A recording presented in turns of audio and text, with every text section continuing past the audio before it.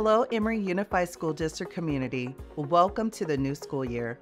I am so excited for our teachers, staff, and families together again as we start another year of learning, discovery, and growth. I welcome all new families who are joining our school district this year from TK to 12th grade.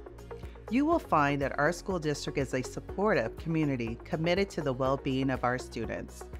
Our focus is to provide an engaging and efficient learning environment, and the new facility upgrades will contribute to an even better daily experience for all.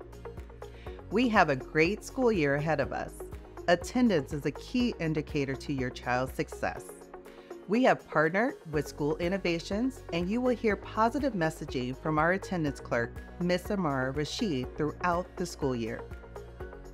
We are thrilled to have your children as a part of the Emery family, and we encourage them to do and be their best. There are many opportunities for your students to learn and grow in education and to advance their social emotional skills. I encourage parents and guardians to stay involved in your child's education. You will surely see them shine and expand their horizons. Be sure to attend Back to School Night on Wednesday, August 30th you will have the opportunity to meet with your child's teachers and learn more about our school community. I look forward to partnering with you in achieving our goals to provide a well rounded education to Emery students. Welcome to the 23 24 school year.